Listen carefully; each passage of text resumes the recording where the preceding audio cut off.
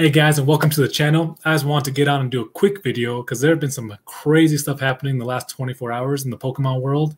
Most notably, well, a couple things, but the, one of the biggest things being Logan Paul's live streaming a box break where he opened up a $200,000 first edition base set booster box.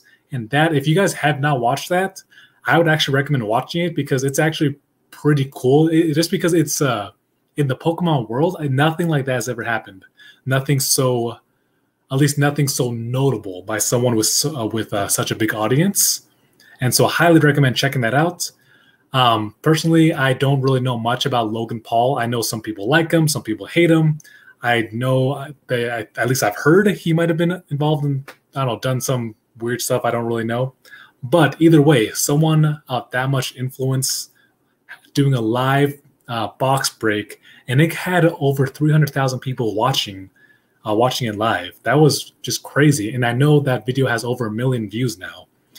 And so just that much attention around Pokemon is crazy. Like from someone that isn't from people who aren't, ne- aren't necessarily in the community. And you know, when I heard that Logan Paul was going to be doing this, that he got involved with Pokemon, you know, I was telling people, you know, that's cool that he's going to be. I know, I know that he was going to be bringing uh, more awareness uh, to Pokemon and you know to Pokemon investing, collecting, all that good stuff. But I was telling people, you know what? That as cool as that is, it's going to be nothing. Like as, as as much attention as that might bring, that's going to be nothing compared to when you know we you have rappers and you know hip hop artists and athletes when they start flexing on their on their Instagram, you know that they just pulled a card or they just bought a PSA 10, you know, Charizard or whatever it might be.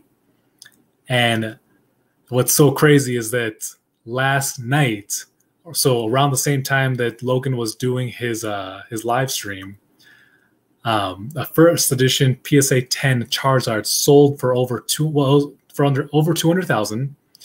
It, it I think the, the the uh, the bid ended around 186,000, but with like fees and everything, it was 200. It was over 220,000. And it turns out, speaking of rappers, that the person who bought that was none other than former rapper Logic. And oh my gosh, I found that out. I'm like, oh my freaking heck, that like game over, game over, guys the fact that I that I and I mean I call him former rapper because you know he retired from rap, but I'm just going to call him rapper.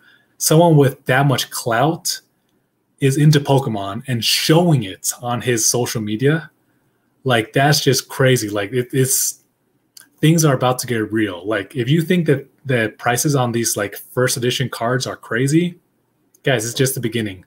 Logic is into Pokemon.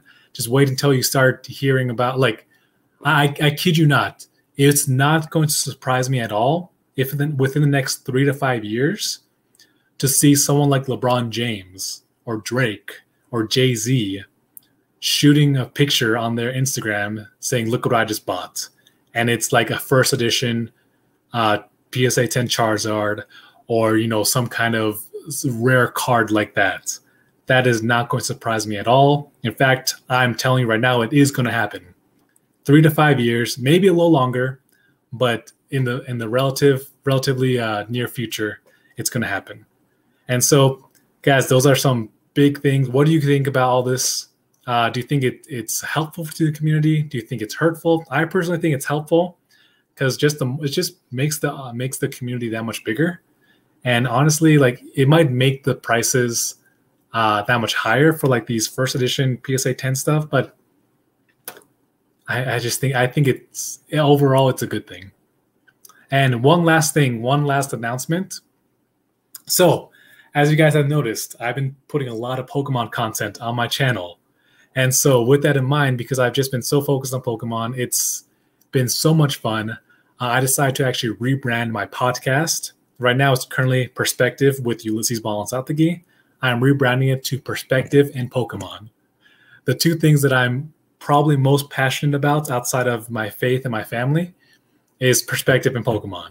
So I'm going to keep bringing on guests to share um, story, you know, their stories about their journey, sharing their perspective on, you know, life, business, happiness, uh, finances, money, all that good stuff. But we're also going to add a, another part to it where we're also going to bring on guests where we'll talk about their journey and thing and their perspective and things. But we're going to be talking Pokemon. We're going to be talking about uh, nerd stuff. We're going to be talking about uh, you know investing, collecting, and you know we might also delve into other stuff that I, I enjoy and that other people might enjoy, like Marvel uh, and things like that. But it's going to revolve, revolve mostly around Pokemon. So perspective in Pokemon, that's going to be the new podcast. It's going to be a lot of fun. Got some really, really cool guests lined up. I think you guys are really, really going to enjoy it. But that's it. I said I want to do a short video. So love you guys. Have a fantastic day. Take care.